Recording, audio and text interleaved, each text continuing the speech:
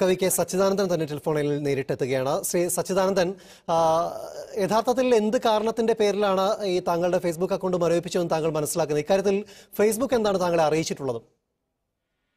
എന്റെ Facebook account മരവിപ്പിച്ചിട്ടില്ല. വാസ്തവത്തിൽ ഇരുപത്തിനാല് മണിക്കൂർ എനിക്ക് എന്തെങ്കിലും പോസ്റ്റ് ചെയ്യാനോ കമന്റ് ചെയ്യാനോ ലൈക്ക് ചെയ്യാനോ പറ്റില്ല എന്നാണ് അറിയിച്ചിരിക്കുന്നത്. അതിനു മുമ്പ് തന്നെ ഒരു വാർണിംഗ് വന്നിരുന്നു. അടുത്ത തവണ ഞങ്ങൾ റെസ്ട്രെയിൻ ചെയ്യുന്നു പറഞ്ഞിട്ട്. അപ്പൊ ഇത്തവണ ഞാനൊരു ഒരു വീഡിയോ അത് വാട്സാപ്പിൽ ധാരാളമായിട്ട് പ്രചരിച്ച ഒരു വീഡിയോ ഇപ്പോഴും പ്രചരിച്ചുകൊണ്ടിരിക്കുന്ന ഒരു വീഡിയോ ആണ്.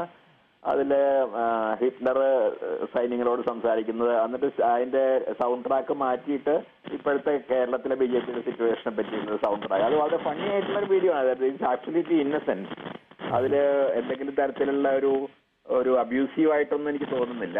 അപ്പൊ ആ വീഡിയോ പോസ്റ്റ് ചെയ്യാൻ ശ്രമിച്ചപ്പോഴാണ് ഈ താക്കീത് തോന്നുന്നത് അത് അത് അതെനിക്ക് പോസ്റ്റ് ചെയ്യാൻ വാസ്തവത്തിൽ കഴിഞ്ഞില്ല. അപ്പോഴാണ് ഇങ്ങനെ ഇരുപത്തിനാല് മണിക്കൂർ പോസ്റ്റ് ചെയ്യാനും ഇതിനും പാടില്ല എന്ന് പറഞ്ഞു അത് മാത്രമല്ല പിന്നെ പിന്നെ മുപ്പത് ദിവസം ഫേസ്ബുക്കിൽ ലൈവായിട്ട് അപ്പിയർ ചെയ്യുന്നതും അവർ നിരോധിച്ചിട്ടുണ്ട്. ഈ താങ്കൾക്ക് ഈ വീഡിയോ മറ്റാരെങ്കിലും ഷെയർ ചെയ്ത് കിട്ടിയതാണോ? എവിടെ നിന്ന് ലഭിച്ചതായിരുന്നു ഈ വീഡിയോ? അതെ ആരോ അത് ആരാണെന്ന് തന്നെ എനിക്ക് ഓർമ്മയില്ല. എന്നെ എന്റെ വാട്സപ്പിൽ പതിനായിരം ആളുകളുണ്ട്. ആ കൂട്ടത്തിൽ ആരോ അയ- അയച്ചതാണ്. അപ്പൊ അത് വളരെ തമാശയുള്ളതായിട്ട് തോന്നി. ഇപ്പോഴത്തെ സിറ്റുവേഷനെ പറ്റിയുള്ള ഒരു ഒരു നർമ്മം കലർന്ന ഒരു കമന്റ് ആയിട്ടാണ് എനിക്ക് തോന്നിയത്. അപ്പൊ ആ വീഡിയോ ധാരാളമായിട്ട് പ്രചരിക്കുന്നുണ്ട്. കാരണം ഞാൻ പിന്നീട് പിന്നീട് പലരും അത് എനിക്ക് അയച്ചു തന്നിരുന്നു. അപ്പോൾ അപ്പൊ അത് വളരെ ഇപ്പോഴും പ്രചരിച്ചുകൊണ്ടിരിക്കുന്നുണ്ട് വാട്സപ്പിൽ അപ്പൊ പ്രത്യേകിച്ച് അതിൽ എന്തെങ്കിലും ഉണ്ട് എന്ന് എന്നെനിക്ക് തോന്നുന്നില്ല.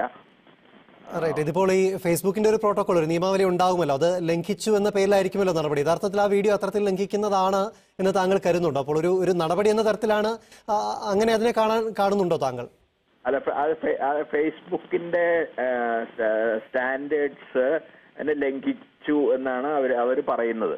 പക്ഷെ ഇതേപോലെ തന്നെ ഒരുപാട് കാർട്ടൂൺസ് ഉണ്ണിയുടെ കാർട്ടൂൺസ് ഒറിജിത് സെനിന്റെ വളരെ ഷാർപ്പായിട്ടുള്ള കാർട്ടൂൺസ് ഇതൊക്കെ ഞാൻ പബ്ലിഷ് ചെയ്തിട്ടുണ്ട് മുമ്പ് ഫേസ്ബുക്കിൽ പബ്ലിക് എന്റെ എന്റെ സെറ്റിംഗ് പബ്ലിക്കിലാണ് പബ്ലിക്കിൽ തന്നെ അത് ചെയ്തിട്ടുണ്ട്. അപ്പോഴൊന്നും ഇത് ഉണ്ടായിട്ടില്ല അപ്പൊ അതിന്റെ അർത്ഥം റീസെന്റ് ആയിട്ട് പക്ഷെ എന്റെ പല പോസ്റ്റുകളും ഇതുപോലെ ഡിസപ്പിയർ ചെയ്യുന്നുണ്ട്. പിന്നീട് ഞാൻ നോക്കുമ്പോൾ ആ പോസ്റ്റുകൾ കാണുന്നില്ല.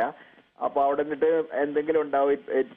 It may have disappeared because of some setting problem എന്നൊക്കെ പറഞ്ഞിട്ട് ഒരു എക്സ്പ്ലനേഷൻ അതിന്റെ കൂടെ വരും. അങ്ങനെ അങ്ങനെ ഡിസപ്പിയർ ചെയ്യുന്നുണ്ട്. ഇപ്പോഴത്തെ പോസ്റ്റ് മാത്രമല്ല ഈ മെമ്മറീസ് ആയിട്ട് വരുന്ന പോസ്റ്റുകളുണ്ട് കഴിഞ്ഞ വർഷം കഴിഞ്ഞ പന്ത്രണ്ട് വർഷമായിട്ട് ഫേസ്ബുക്കിലുണ്ട് അപ്പൊ അങ്ങനെ വരുന്ന ചില പോസ്റ്റുകളും അതിൽ ചിലത് ഡിസപ്പിയർ ചെയ്തു എന്ന് പറഞ്ഞിട്ട് വരുന്നുണ്ട്. അപ്പോ അപ്പോ ഒബ്സർവേഷനിലാണ് ഞാൻ ഞാൻ മാത്രമല്ല ഒരുപക്ഷെ ഒരുപാട് പേര് എന്ന് എനിക്ക് തോന്നുന്നു. ബി ജെ പിയുടെ ക്രിട്ടിക്സ് അല്ലെങ്കിൽ റൈറ്റ് വിങ്ങിന്റെ ക്രിട്ടിക് ആയിട്ടുള്ള ക്രിട്ടിക്സ് ആയിട്ടുള്ള ഒരുപാട് പേര് നിരീക്ഷണത്തിലുണ്ടെന്നും ബി ജെ പിയുടെ ഐ ടി സെല്ല് കാര്യമായി ക്ഷമമായിട്ട് പ്രവർത്തിക്കുന്നുണ്ടെന്നും സ്റ്റേറ്റും ഫേസ്ബുക്കുമായിട്ട് വളരെ ക്ലിയർ ആയിട്ടുള്ള സ്റ്റേറ്റ് ഐ മീൻ ഭരണകൂടം ഫേസ്ബുക്കുമായിട്ട് ക്ലിയർ ആയിട്ടുള്ള ഒരു ധാരണയുണ്ടെന്നാണ് അതിൽ നിന്ന് മനസ്സിലാവേണ്ടത്. കാരണം ഞാൻ വേറൊരു ആർട്ടിക്കിൾ പോസ്റ്റ് ചെയ്യാൻ ശ്രമിച്ചു. അതിൽ അബ്യൂസീവായിട്ട് യാതൊന്നുമില്ല. ലാൻഡ്സെറ്റ് എന്നുള്ള ഒരു മെഡിക്കൽ മാഗസിനിൽ വന്ന വന്ന ഒരു ആർട്ടിക്കിളാണ്.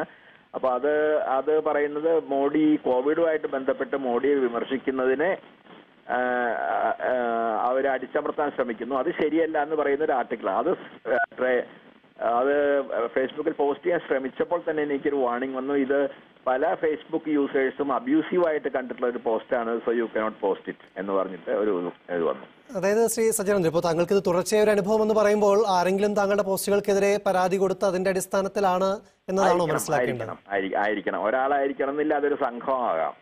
ഒരു ഇത്തരത്തിലുള്ള ഇൻഫ്ലുവൻഷ്യൽ അവർ അവർ പറയുമല്ലോ ഇൻഫ്ലുവൻഷ്യൽ ആയിട്ടുള്ള ആളുകളെ നിരീക്ഷിക്കുന്ന ഏതോ ഒരു സംഘം ഉണ്ടെന്നാണ് അതിന്റെ അർത്ഥം.